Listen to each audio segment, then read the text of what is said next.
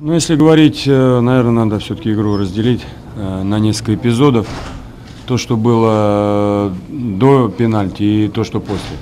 Вот, ну, по первому тайму, конечно, игра не получилась, потому что... Да, будь здоров.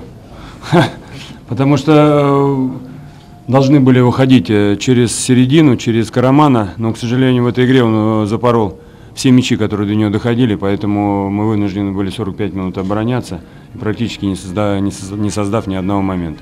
Во втором тайме вышли, э, вышел Соснин, перестроились э, и, так сказать, только э, почувствовали вкус к игре, забили мяч и в ответной атаке пропускаем. Конечно, то, что творится у нас в последние игры в центре обороны, это бардак.